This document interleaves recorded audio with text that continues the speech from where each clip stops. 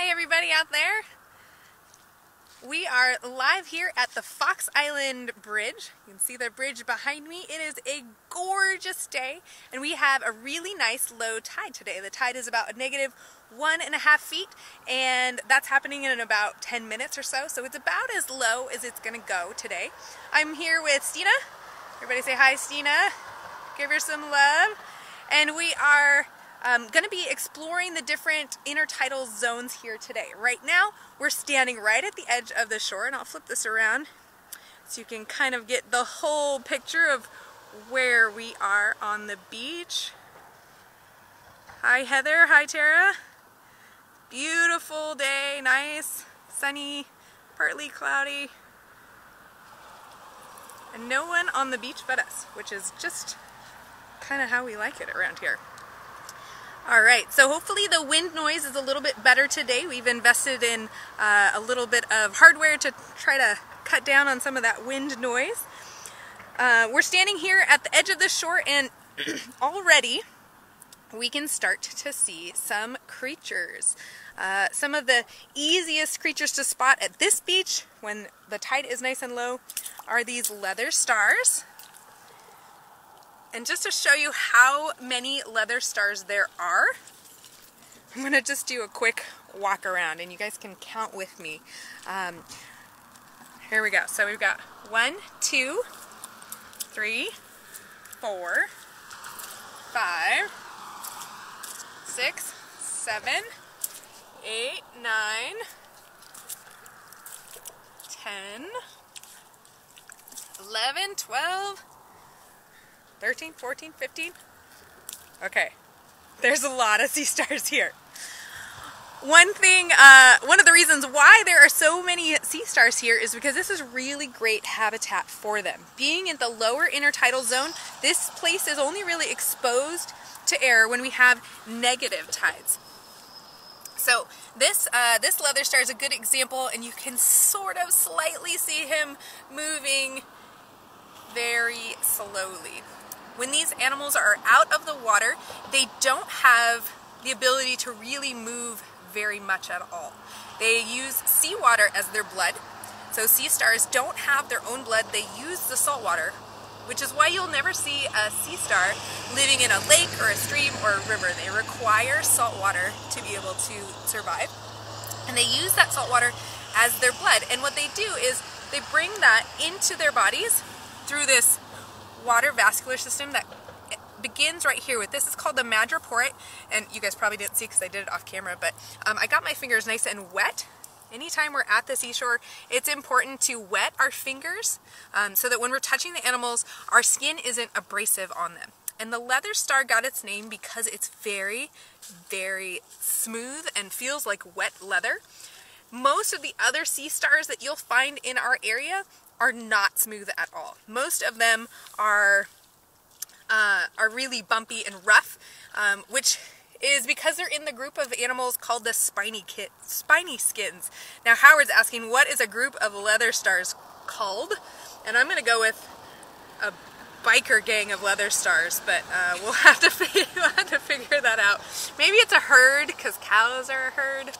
I don't know, Howard. You'll have to answer uh, in the comments. Maybe a load, Jen's asking. Good, good comments. Speaking of comments, if you're watching this from home and you want to pop uh, your location and maybe the age of the people who are watching, we would love to have that information. Um, we are bringing these digital live videos to you three times a week and um, it's helpful for us to know how far our, our reach is really extending. So if you want to comment there, we would love to see um, people from all around. And then as uh, the video ends, of course, we'll make it available on our page and you can continue to share that as well. And we love shares, we love social media. If you want to post a photo of yourselves watching this video um, and tag us in it at Harbor WildWatch on Facebook or uh, Instagram would be great. All right, so Stena looks like she's found something she wants to talk about. So let's get a little bit closer, not too close, six feet, right? Yeah, so Nice and loud for us. Yeah, in previous videos, we've talked about the difference between a male and a female crab.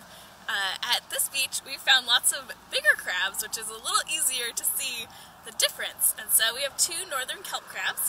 One's male, one's female. I'll let you take a look and uh, maybe make some predictions about who's who. You can notice one has a bigger set of claws, one is missing some legs, that may or may not have anything to do with it. Their belly flaps are a little bit different. And if you're thinking the belly flaps are the clue, you're right. For our male crabs, they have a skinny, pointy belly flap. Um, and if I compare that to the female crab, her belly flap is nice and wide. And I'm going to set our, our dude down and point out this wide belly flap. Um, for the female crab, this is where she's going to hold her eggs. Now, the eggs are kind of cool because she'll hold thousands of them underneath this pouch, but she can only be fertilized when she sheds her outer hard shell. I kind of give her a tap. You'll notice this is very hard. Her toes are also very pointy. they kind of hurt.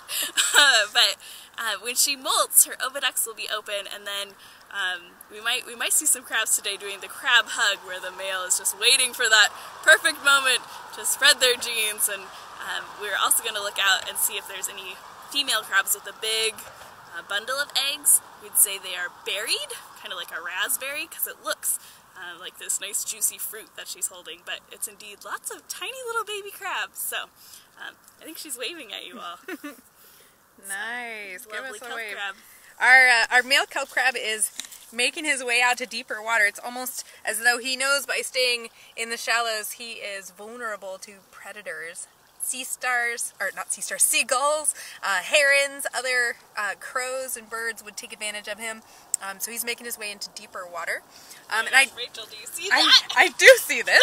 ah, this is such a cool find. Uh, this is a California sea cucumber. And this is a bit of a rare creature for the, uh, the intertidal zone. They tend to be a lot lower. Um, and because this is really the first daytime negative tide, um, that's probably why we're seeing it here. Um, so if it were July and we'd had many weeks of lower tides uh, in the area, these animals migrate a little bit deeper out. Um, and what's really fascinating about this creature is the texture of it. Take a look at it. It looks like a big spiny hot dog, um, but it's not the kind of creature that you want to bite into. First of all, those spines are all bluff. This is a very soft and squishy creature. Um, and if I gently can kind of roll him over, I can show you the underside and the tube feet that put this animal in the group with uh, sea stars, urchins, and sand dollars. Um, which is really, really kind of cool. Now, this animal um, is different than a lot of our sea stars because instead of having like five arms outward or a hard skeleton, there's no hard parts to their entire body. These are very, very soft and squishy and they, um, they get about as long as maybe my arm. So close to three feet long. Really, really cool creature to find. Um, and one of the reasons why I say you don't want to bite into this is because even though it looks spiky, it's not. That The spikes won't hurt you at all. But the defense of a sea, sea cucumber like this is called evisceration which means if I were to really threaten him and chomp down really hard, I won't, I'll be gentle. Um, but if I were to try to take a bite out of him, he would, or she, would take their guts and squirt them out their body.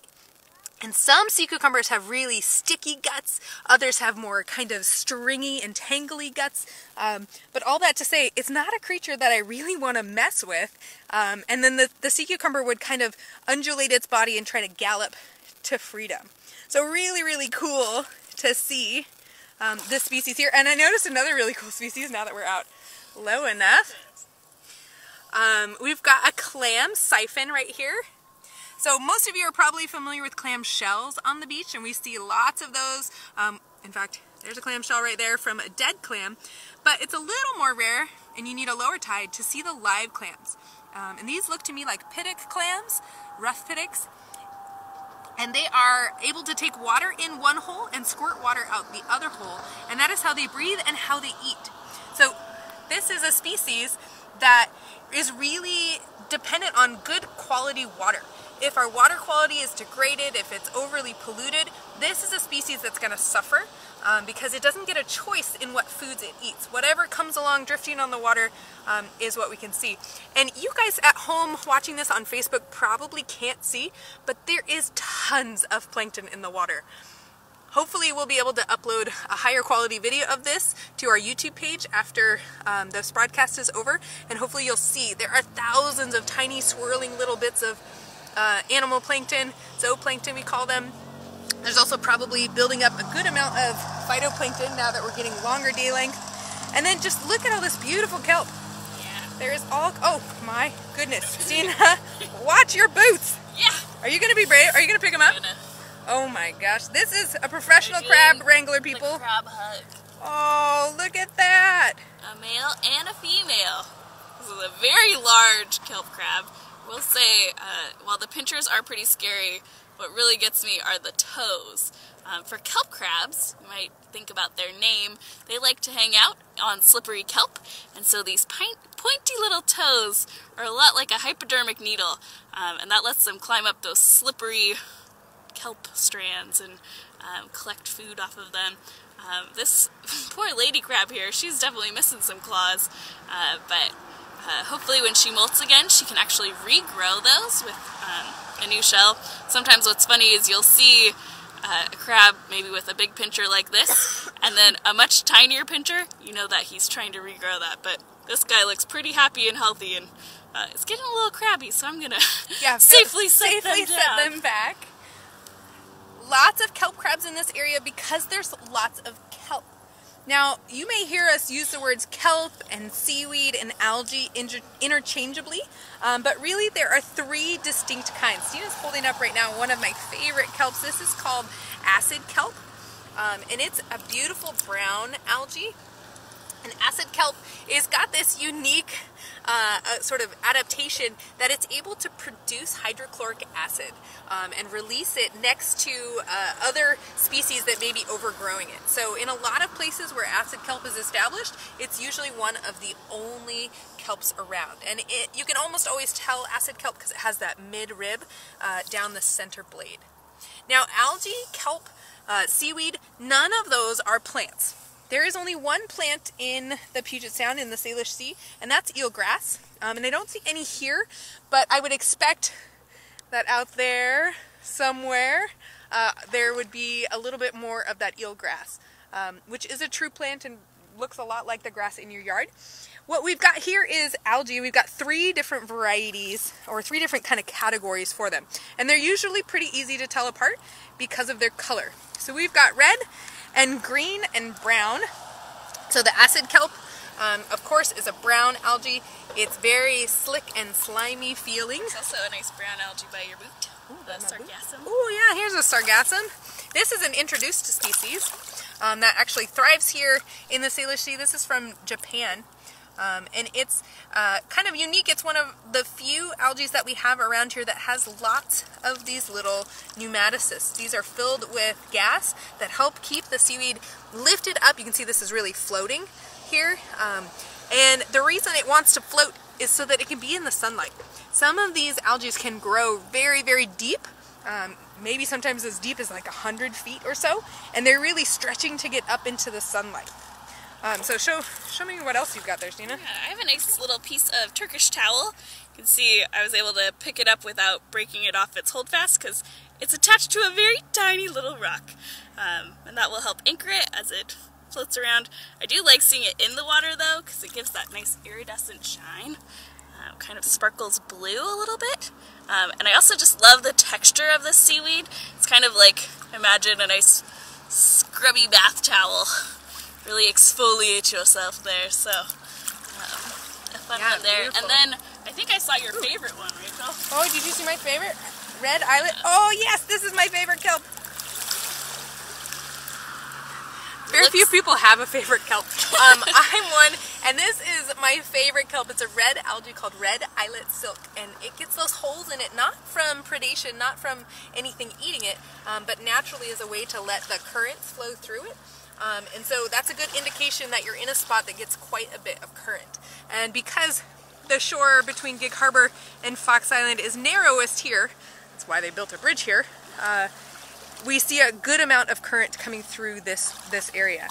Um, and then of course we've got the green algae, beautiful green ulva. Um, we've talked about it in previous videos and in, in the past weeks, but um, this is a really, really lovely uh, green algae. It's only one or two cells thick. So pretty. Um, and this is totally smooth, and if a piece of it breaks off, the broken piece will continue to survive. So that's a clue that you're not dealing with a plant. Plants have uh, tissues, they have roots and stems and leaves that are all a little bit different microscopically. With algae, they're all the same. Um, just kind of different forms. Here's a really pretty red algae um, that's beautiful when it's kind of flowing in the water like this. I can lift it up. Got these kind of fan frills on it. Really nice. This one's kind of funny. This is called sea noodles. Another type of red seaweed. Um, the nice thick little branches. it's kind of fun if you get a bucket of water and shake this around in it. Sometimes you'll find fun little shrimp living around um, between all the branches. I don't see anybody crawling around at the moment, but cool thing to investigate and imagine eating a, a bowl of spaghetti. Definitely Which- has a very noodly texture for sure. Uh, so, you know, uh, I can't help but notice you've got another Yeah. something to talk about So there. this is another good clue that there's some evidence of one of my favorite snail species on this beach, the mighty moon snail. Hey, Stena, I have a joke for you. Okay, How do you find a giant snail? uh, I don't know. At the end of a giant's finger. Add that to the repertoire. Stena's a fan of uh, cheesy ocean themed I love cheesy ocean So there you go. Uh, if you come on a beach walk with me, usually if we're looking for moon snails, I'm going to make you howl for them. Uh, luckily, right here we found, I don't know, like half a million of them in a nice big collar like this. Uh, believe it or not, there are tiny little snail eggs wedged in between the sand here. Uh, the moon snail is a large snail that has a very slimy foot, and it will use that slime and the sand, and it will kind of mix it up and lay its eggs right in between, kind of like the filling of an Oreo cookie here. And it will extrude this out, which is why it doesn't connect, and then it will leave it behind, and this will go in and out with the tide, and eventually those multiple thousands of little moon snails will hatch out. Um, and you know, some of you might be out there thinking, ah, those mighty moon snails eating my delicious clams. but they also feed your clams um, as a little baby. So there's a nice circle of life thing going on here. Um, this is also called an egg collar because, check this out. the highest of intertidal fashion, darling. But I'll Now we just need some feather boa kelp for you. yeah. Nice. Another thing to point out about this is you can tell the size of the animal that laid it. Um, the inner circle right here is the size of the animal's shell. So you can imagine a shell about the size of my fist. The outer circle here would be the foot. Um, so this is kind of a medium, full-grown uh, moon snail, but uh, it's a little early in the season. So it, as the season goes on, as we get warmer weather, we'll start to see more and more of those uh, moon snail egg cases. So let's um let's we haven't gone very far. I've walked about ten feet and we've already talked about so many different animals. Ooh ooh ooh! I see I see another animal and it's a live one. Okay, so see the clam. This is what we call a heart cockle, um, and this is a live heart cockle. I'm trying to show him. You can see the flesh on the inside there,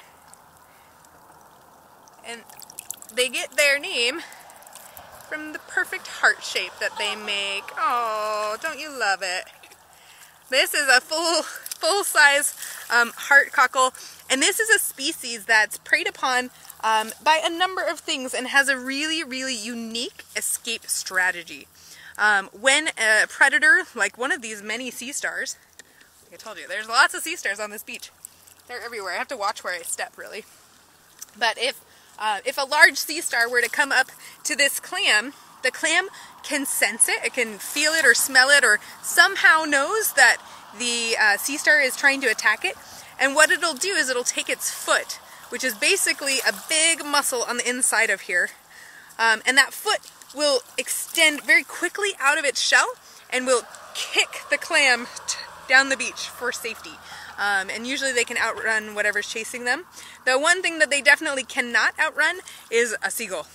So when it's low tide, it is lunchtime out here at the beach. Um, hey, I see one of our former sea stars out here.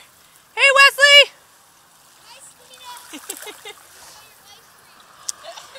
so we've got this this beautiful heart cockle here. I'm going to place him um, back down right where I found him, under the cover of the water. Luckily, he's probably a little too big for most of the seagulls um, to manage. Um, and so he's fairly safe, but smaller, uh, small, smaller cockles um, definitely are, are vulnerable to that as well. Um, so I'm walking along. Oh, here's a, there's a horse clam shell. Evidence that we might have some bigger, bigger animals out here. Oh, here's an, okay, I know I said I had a favorite kelp, but now I found my other favorite. um, ooh, and more of my favorite. This is great. I didn't know there was red eyelets. Look at this beach. Okay, so back to my favorite. Look at that. Beautiful, holy texture. Very, very pretty. And then I'm not sure if you can see, ooh, I'm going to try not to fall. the footing is not exactly smooth right here. Um, lots of treacherous algae. But hopefully you can see that really, really iridescent, smooth piece of algae here. This is called iridescent kelp.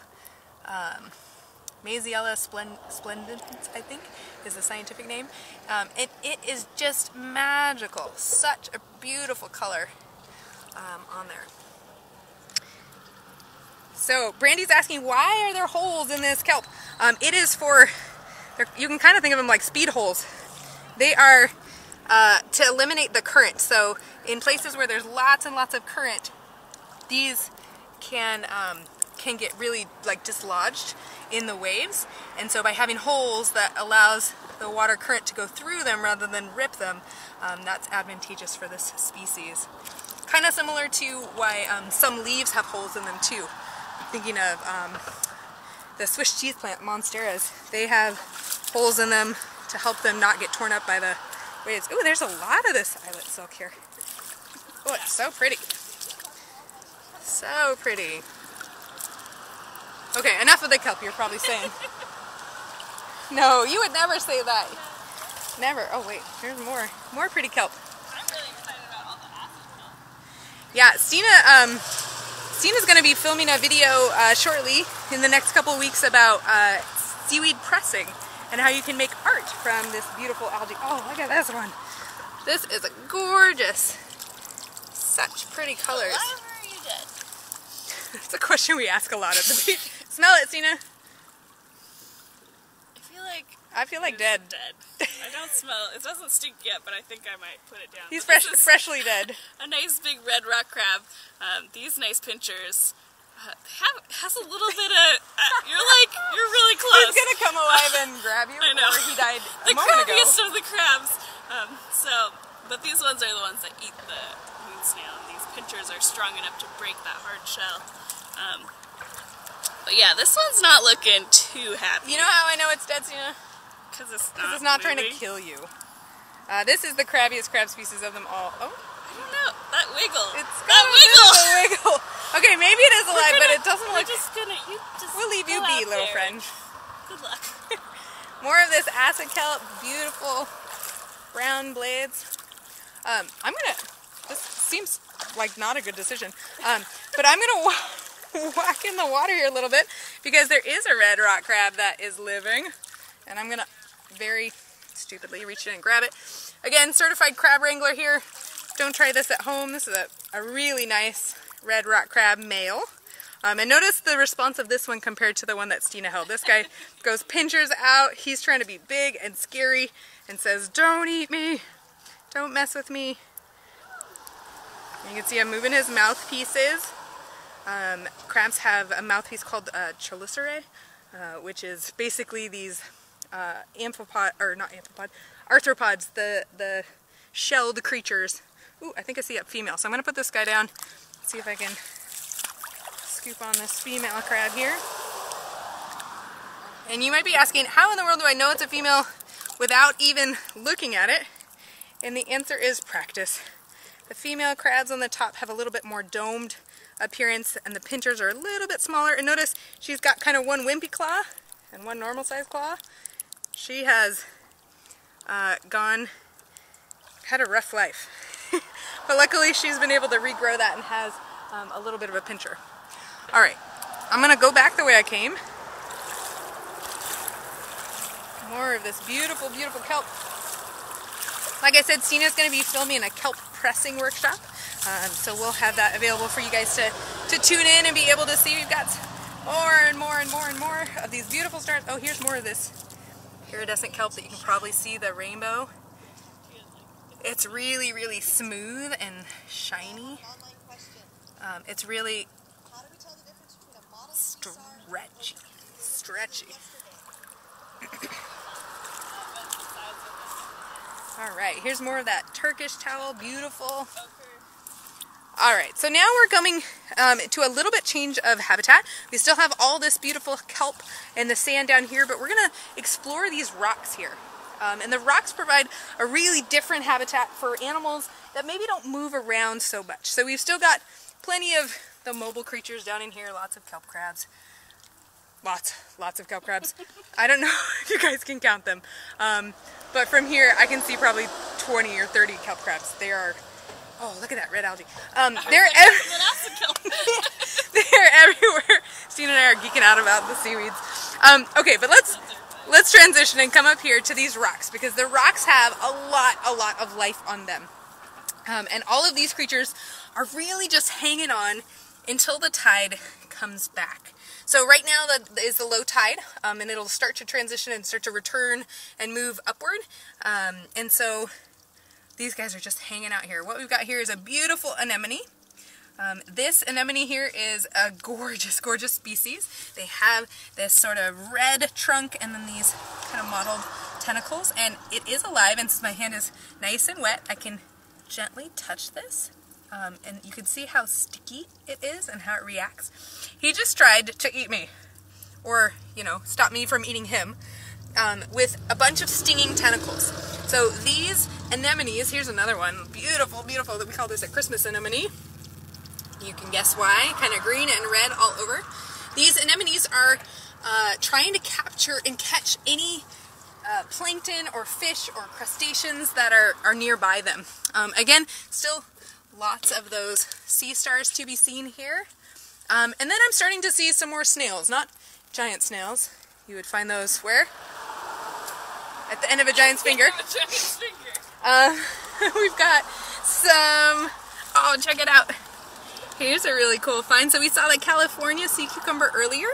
This is a, what we call an orange sea cucumber, and you can tell it's nice and orange. Um, they also have bright orange feeding tentacles that are sometimes maroon, but most often are like a bright, bright orange. Ooh, here's another cool creature. I could sit here all day and just look at these rocks. Uh, here we've got a limpet. Um, can you see this? Kind of mountain-shaped shell. And this is a keyhole limpet, and I can tell because of this little hole right there. And notice when I touch him, he kind of tightens up and moves. Um, here's a keyhole limpet shell. So you can see they really have this mountain-shaped type of shell. Um, and they are related to snails and chitons. Speaking of chitons, here we go. Here's a chiton.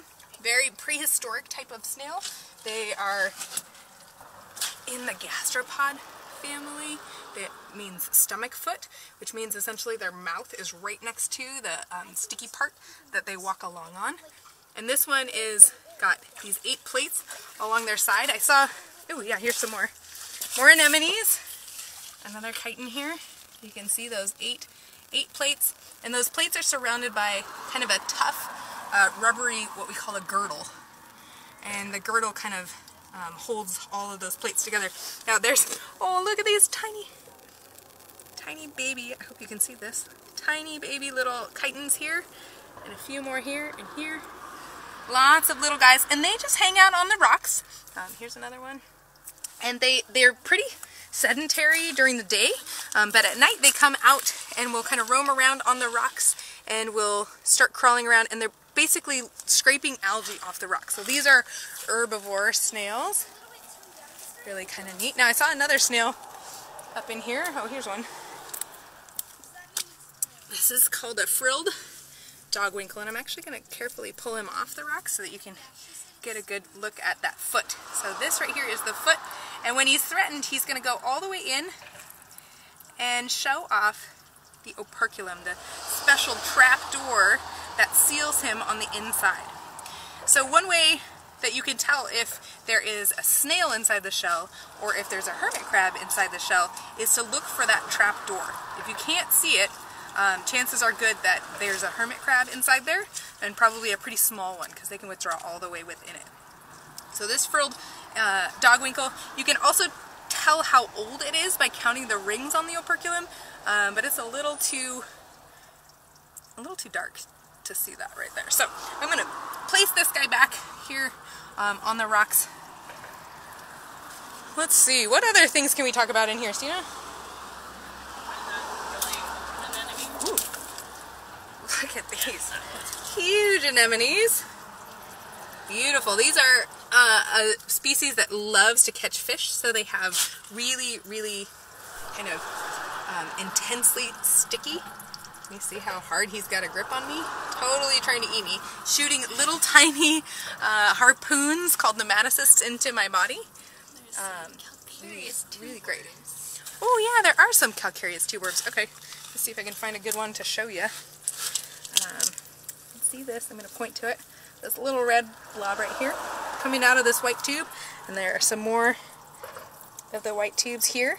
Those are tube worms. They're related to earthworms and feather duster worms.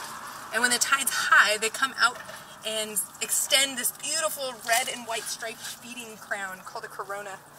Not coronavirus. It's the good corona.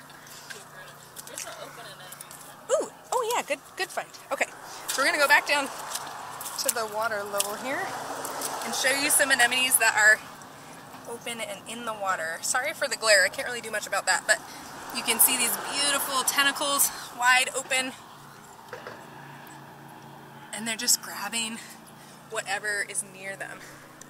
Ooh, there are a lot of kelp crabs out there. Beautiful kelp.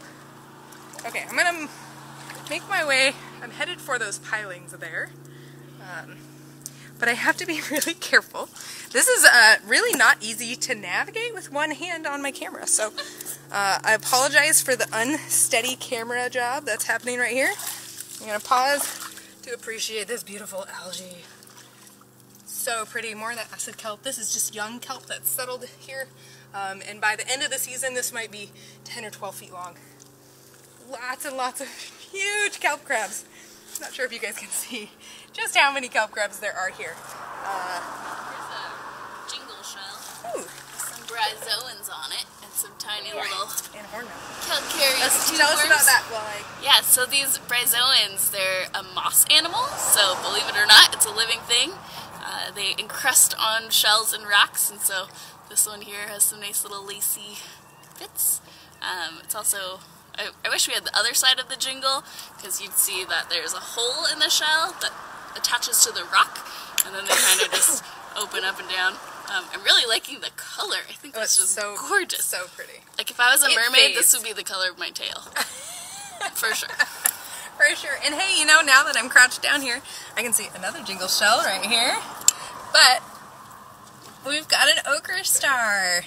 That beautiful purple coloration and the very, very bumpy texture to the skin um, is definitely an ochre sea star. Um, they come in purple or ochre color. Um, it turns out here in the sound we tend to have more of the purple variety for whatever reason, um, although we do see an ochre colored one from time to time. And then check this out, a cool, really cool snail that I have found here. This is called a leafy hornmouth. Um, really beautiful shell.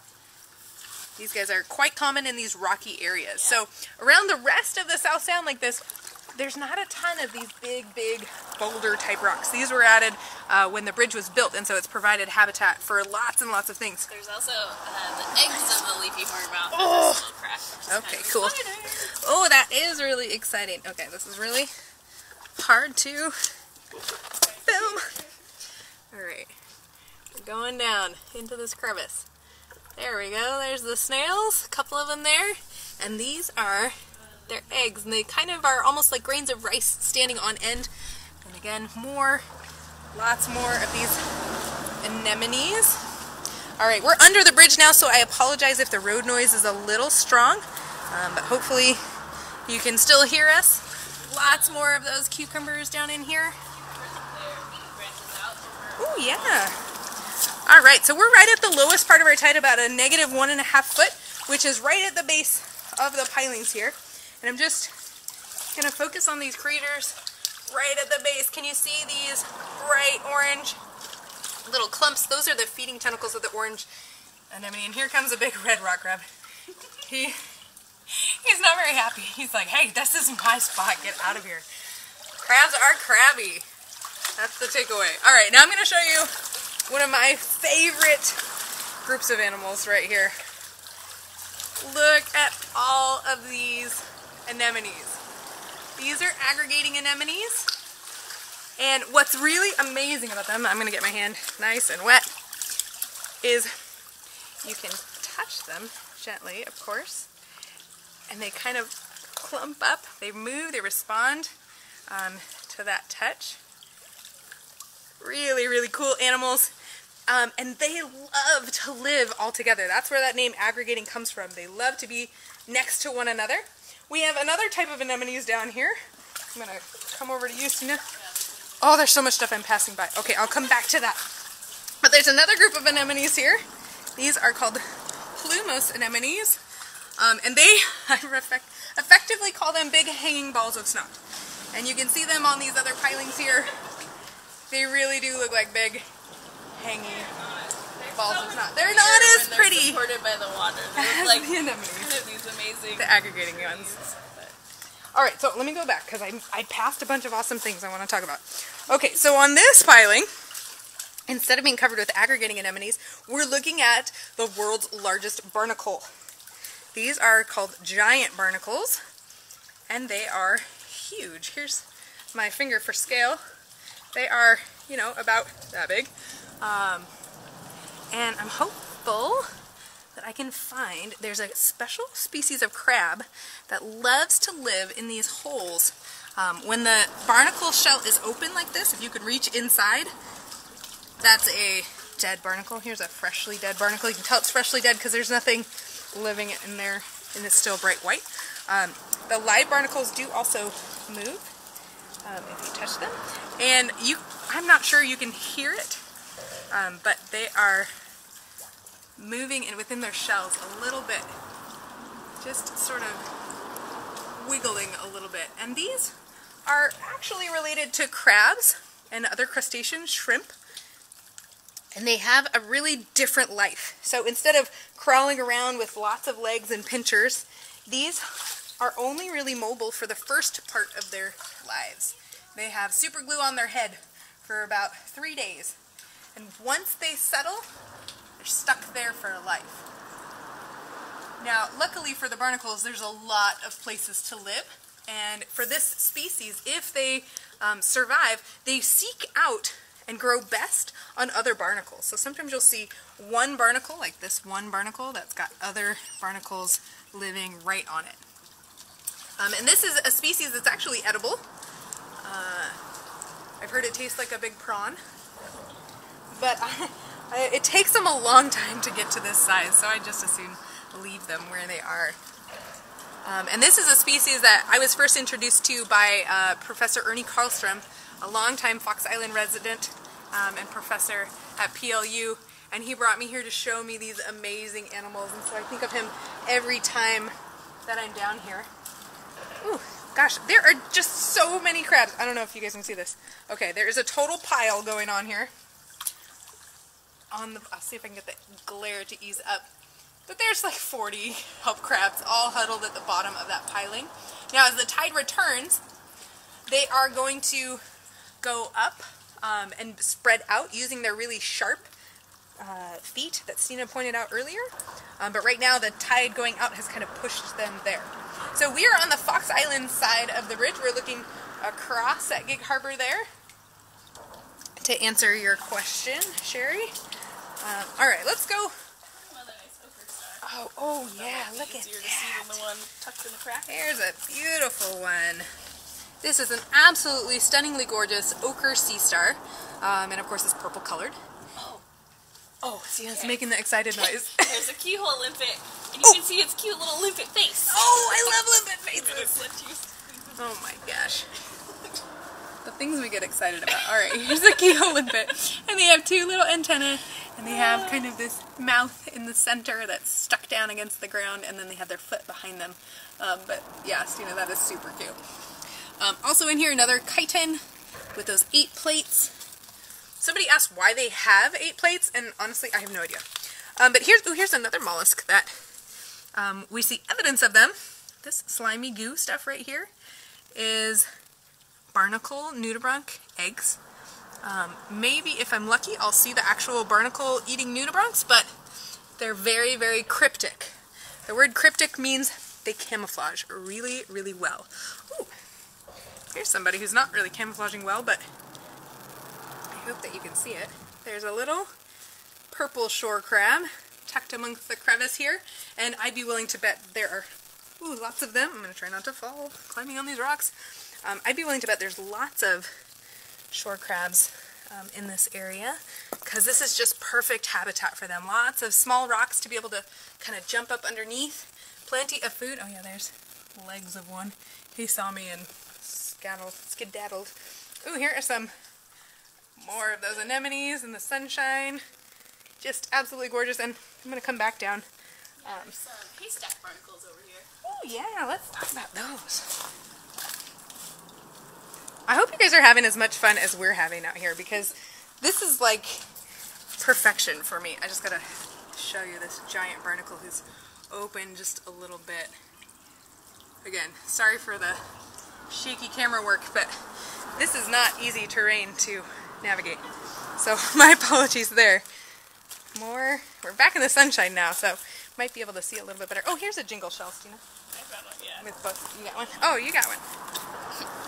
Hands. But yeah, this uh, is that other side of the jingle shell that we mentioned, where the adductor muscle, which is usually the delicious thing you're eating if you ever have scallops, uh, it's the strong muscle that sticks through this hole and will glue itself to a rock, and then it can open and close to filter plankton out of the water. And jingle shells grow in one spot, so they really conform to their rock. Here's another um, jingle shell I'm going to pick up.